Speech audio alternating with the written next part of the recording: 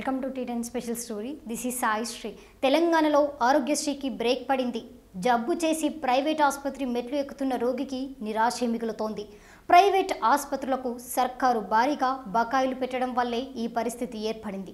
వైద్య ఆరోగ్య శాఖ మంత్రి ఈటెల రాజేందర్ అధ్యక్షతన ప్రైవేట్ ఆసుపత్రుల సంఘంతో చర్చలు జరిపినా ఫలితం ఇవ్వలేదు. దాంతో తెలంగాణలో ఆరోగ్యశ్రీ అటకెక్కినట్లేనా అనే దానిపై టీ టెన్ స్పెషల్ స్టోరీ. తెలంగాణలో ఆరోగ్యశ్రీకి బ్రేకులు పడ్డాయి. ప్రైవేట్ ఆసుపత్రుల యాజమాన్యాలు ఆరోగ్యశ్రీ కింద సేవలు అందించేందుకు నిరాకరిస్తున్నాయి. ఈ నేపథ్యంలో ఆరోగ్యశ్రీ కార్డు పట్టుకొని ప్రైవేట్ ఆసుపత్రులకు వెళ్తున్న రోగులకు నిరాశ ఎదురవుతోంది. అక్కడి డాక్టర్లు సిబ్బంది ప్రభుత్వాసుపత్రులకు వెళ్ళండని సూచించడంతో పేషెంట్లు ఇబ్బందులు పడుతున్నారు.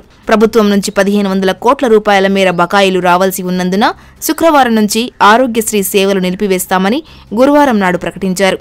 ఆ క్రమంలో వైద్య ఆరోగ్య శాఖ మంత్రి ఈటల రాజేందర్ అధ్యక్షతన జరిగిన సమావేశంలో ప్రైవేట్ ఆసుపత్రుల సంఘం ప్రభుత్వంతో జరిపిన చర్చలు విఫలమయ్యాయి. తెలంగాణలోని ప్రైవేట్ ఆసుపత్రుల్లో ఆరోగ్యశ్రీకి సేవలు నిలిపివేసినట్లు ప్రకటించింది ప్రైవేట్ ఆసుపత్రుల సంఘం. శుక్రవారం నుంచి సేవలు బంద్ చేస్తామని గురువారం నాడు ప్రకటించిన నేపథ్యంలో వారితో ప్రభుత్వం చర్చలు జరిపింది. అయితే చర్చలు విఫలం కావడంతో ఇక ప్రైవేట్ ఆసుపత్రుల్లో ఆరోగ్యశ్రీ సేవలు నిలిచిపోయాయి. దాంతో ప్రైవేట్ ఆసుపత్రులను ఆశ్రయిస్తున్న రోగులు ఆరోగ్యశ్రీ సేవలు లేక బిక్కుబిక్కుమంటున్నారు. ఆరోగ్యశ్రీ కింద వైద్యం తీసుకోవడానికి ప్రైవేట్ ఆసుపత్రులకు క్యూ కడుతున్నారని అక్కడి సిబ్బంది ప్రభుత్వ ఆసుపత్రులకు వెళ్ళండంటూ సూచిస్తున్నారు. దీంతో రోగులు నానా అవస్థలు పడుతున్నారు. వైద్య ఆరోగ్య శాఖ మంత్రి ఈటల రాజేందర్తో ప్రైవేట్ ఆసుపత్రుల సంఘం జరిపిన చర్చలు విఫలమయ్యాయి. పదిహేను వందల కోట్ల రూపాయల బకాయిలు రావాల్సి ఉందని ప్రైవేట్ ఆసుపత్రుల యాజమాన్యాలు చెబుతుండగా కేవలం ఆరు వందల కోట్ల రూపాయలే బకాయిలు ఉన్నామంటున్నారు ఈటల.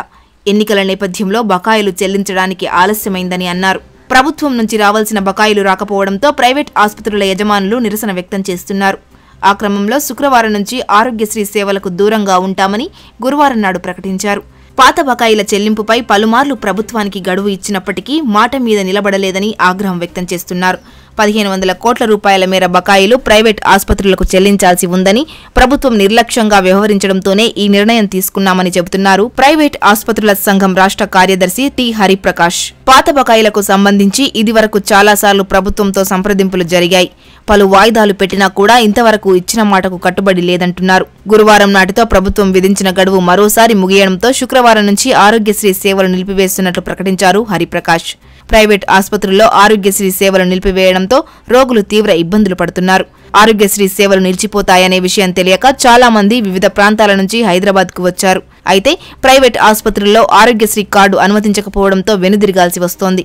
ఇది ఇవాళ T ten special story keep watching T ten ఈ వీడియో మీకు నచ్చినట్లయితే లైక్ చేయండి షేర్ చేయండి. ఇలాంటి మరిన్ని అప్డేట్స్ కోసం మన ఛానల్ని సబ్స్క్రైబ్ చేసి కింద కనిపిస్తున్న బెల్ బటన్ని క్లిక్ చేయండి.